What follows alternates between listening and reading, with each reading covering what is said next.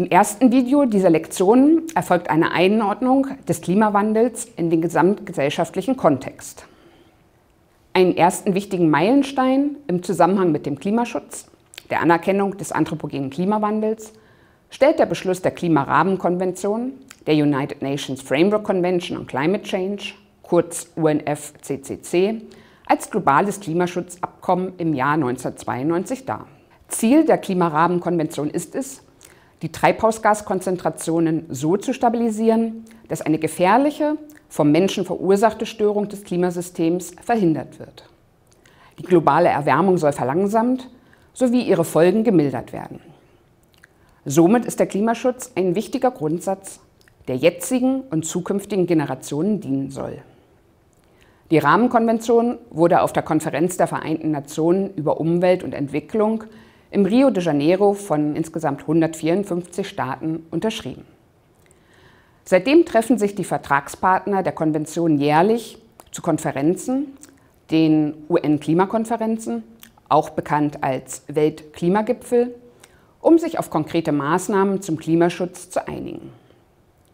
Bis heute haben 197 Vertragsparteien inklusive der EU die Klimarahmenkonvention ratifiziert und damit die völkerrechtliche Basis für einen weltweiten Klimaschutz geschaffen.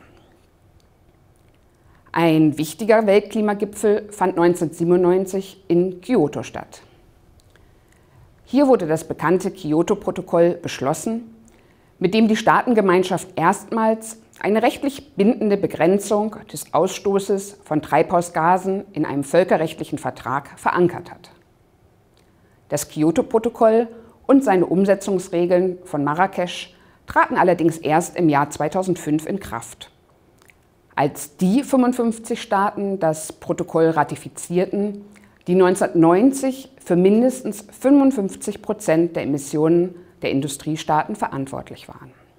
Ziel der ersten Verpflichtungsperiode des Kyoto-Protokolls von 2008 bis 2012 war es, dass die im sogenannten Annex B des Protokolls verzeichneten Industriestaaten ihre Treibhausgasemissionen um insgesamt 5,2 Prozent gegenüber den Emissionen des Jahres 1990 senken. Im Jahr 2012 konnte dann eine Einigung auf eine zweite Verpflichtungsperiode von 2013 bis 2020 für die Fortführung des Kyoto-Protokolls erreicht werden. Ein sehr wichtiger Meilenstein war dann das Jahr 2015. Hier einigten sich die Vertragsstaaten auf der Pariser Klimakonferenz, der COP21, auf das sogenannte Paris Agreement, das unter der Klimarahmenkonvention angesiedelt ist. Gegenstand des Paris Agreement ist die Einigung auf völkerrechtlich verbindliche Ziele, und zwar hier die Begrenzung des Anstiegs der globalen Mitteltemperatur auf deutlich unter 2 Grad und zwar gegenüber dem vorindustriellen Temperaturniveau. Darüber hinaus verpflichten sich die Vertragsstaaten dazu, Anstrengungen zu unternehmen, um den Temperaturanstieg sogar unter 1,5 Grad zu halten. Das große, ambitionierte Ziel ist es, dass in der zweiten Hälfte des Jahrhunderts die Welt treibhausgasneutral ist. Dabei zieht das Paris Agreement alle Staaten gleichermaßen ein. Der Stand ihrer wirtschaftlichen Entwicklung ist jedoch mit unterschiedlichen Pflichten verbunden. Die Industrieländer verpflichten sich dabei, die Entwicklungsländer beim Klimaschutz und der Anpassung an den Klimawandel zu unterstützen. Das Paris Agreement trat im Jahr 2016 formell in Kraft. Seit dem Jahr 2020 sollen alle fünf Jahre neue ambitionierte Klimaschutzbeiträge durch die Staaten vorgelegt werden.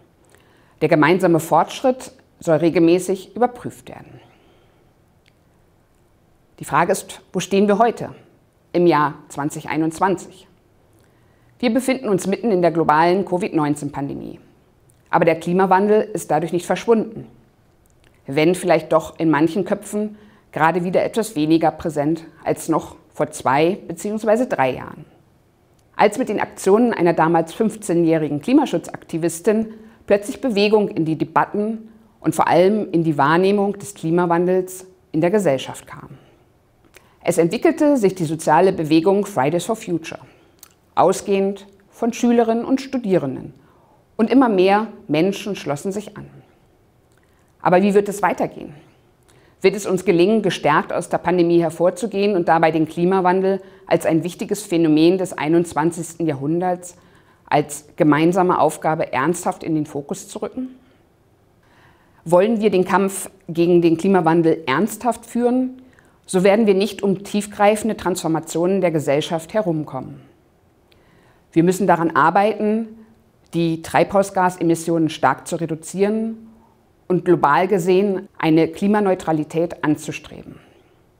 Um dies zu erreichen, muss ein Umdenken stattfinden. Im Fokus stehen natürlich die Energieproduktion und auch der Energieverbrauch. Aber allein im Energiesektor können die Herausforderungen nicht gelöst werden. Es ist wichtig, verschiedene Transformationspfade mitzudenken.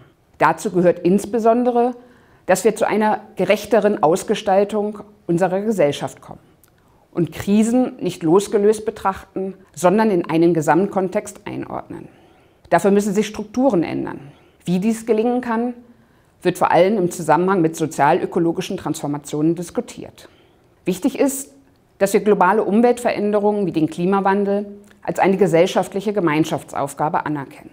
Das erfordert, wie bereits gesagt, ein Umdenken, ein neues Denken und vor allem neues Handeln, ausgerichtet am Gemeinwohl.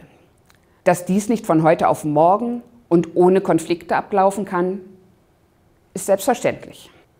Es wird immer wieder darum gehen, Dinge auszuhandeln. Es wird darum gehen, in Netzwerken zu arbeiten und neue Kooperationen einzugehen.